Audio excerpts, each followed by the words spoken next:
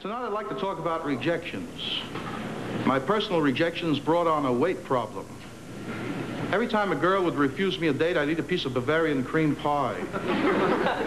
One day I ate 238 pieces of Bavarian cream pie. I was getting so heavy I had to let out the shower curtain. I'd step on a scale, the card would read, come back later, alone. I even tried a drinking man's diet. Now I have two problems. My doctor told me cut out all sugar and use saccharin.